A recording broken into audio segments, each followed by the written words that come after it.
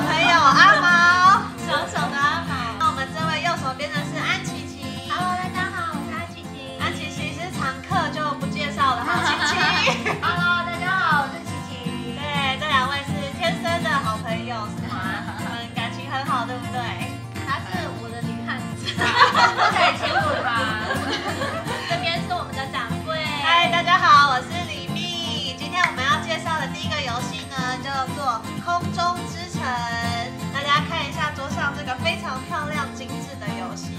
其实是呃，我相信不管是女生啊，还是小朋友，还是大人都非常适合玩的一个游戏。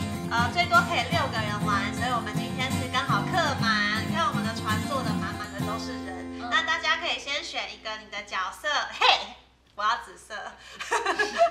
好，大家赶快选一下，还有其他颜色。哎，哎，都没得选耶，我那你可就绿色吧。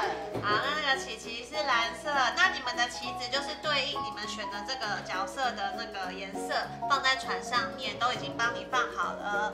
好，那呃安琪琪是绿色，然后我是紫色，阿毛是阿毛色黑色，米娅是红色，贝拉是黄色。好，那记得你们的人的颜色，他们都在船上。那这是一个关于空中的游戏，就是我们都是这艘空中之船的乘客。那我们每一次呢，会有一个人当船长，我们要航行到这些梦幻之岛去。我们总共有九个岛，大家可以看一下桌面上，一二三四五六七八九，有九个不同的岛屿。那它们上面写的数字呢，就是分数，因为我们这个游戏最重要的就是得分，所以我们就希望可以航行到越远的岛越好。如果航行到第九个岛都没有沉船的话呢，我们就平安降落。就是例如说呢，我们要航行到第二座岛的时候，我们就要甩两颗骰子。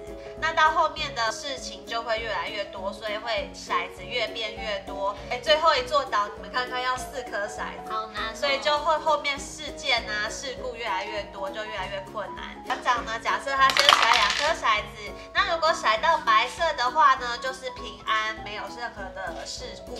那如果甩到其他有颜色的呢，就是遇到事情了。会有哪些事情呢？像这颗红色的呢，它就是遇到一群鸟。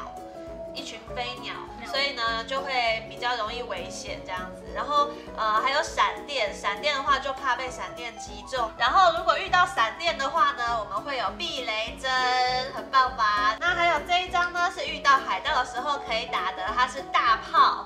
大炮是就可以把海盗给击沉，这样我们就获胜了。指南针，指南针我们在多云的时候呢，我们迷失方向，所以就需要指南针来帮助我们找到正确的路，让我们可以到下一座岛。好的，那我们只有船长可以可以打出这四张牌，其他人都不能帮忙哦。如果没有的话呢，解决不了，那就会大家一起沉船，啪啦啪啦啪啦就倒了。对，超爱沉船。好，然后在这一张呢是叫做喷射背包，喷射背包就有一点像降落伞的功能，它就是帮助你平安降落的。就是你在乘船的时候呢，只要打出这一张，不管是船长还是乘客都可以打出来，那我们就可以只用这个喷射背包，然后平安的着陆。着陆的话，我们就可以得到分数卡片。可是呢，只有第一个打出来的人才能够使用，因为我们只有一个人可以使用喷射背包，所以如果是第二个打出来的人就 sorry 来。最后一张呢，就是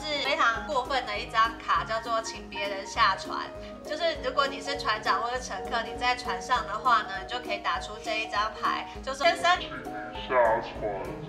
好，那我们就要开始游戏啦。我们等一下呢，会大家轮流当船长。如果航行到下一艘岛的时候呢，我们船长就会换，船长会一直轮流当。可是船长要负责任，所以不能够下船。那船长甩完骰子以后呢，其他的乘客都可以选择要不要下船。如果你下船的话，你就可以马上拿到这个岛的分数。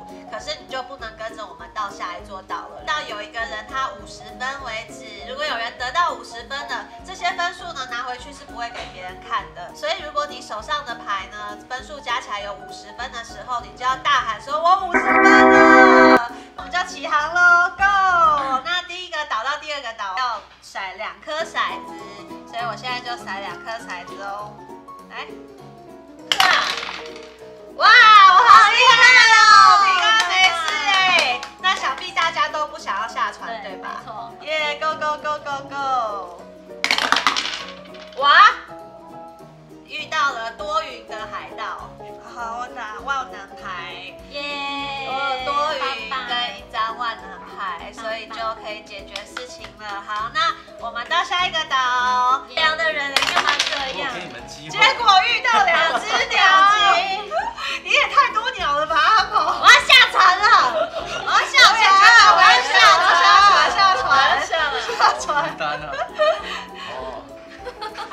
等一下，我们船长要负责任，是不能下船的。这是不能下船的，除非你平安的到下一个岛，才可以下船的啦。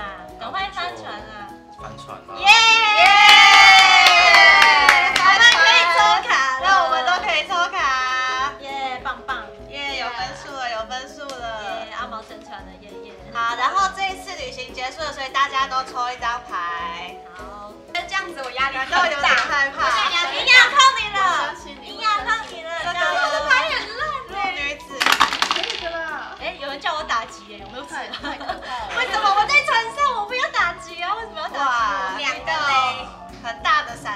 我觉得还是先下船好了。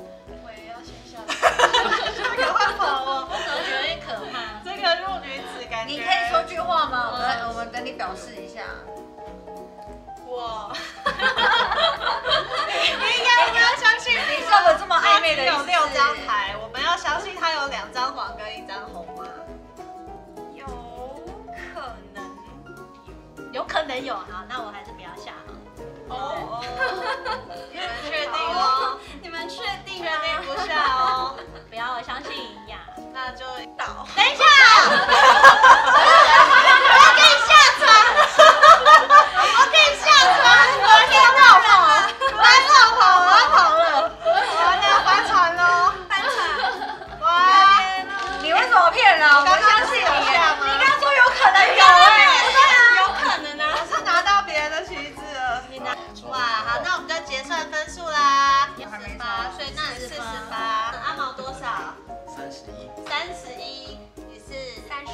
三十六，贝拉。